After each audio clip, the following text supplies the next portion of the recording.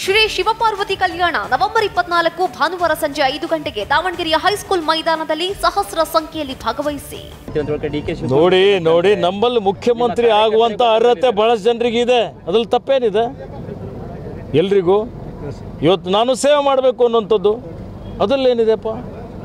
ಹೀಗಾಗಿ ನಮ್ಮ ಪಕ್ಷದಲ್ಲಿ ಆಂತರಿಕ ಪ್ರಜಾಪ್ರಭುತ್ವ ಇದೆ.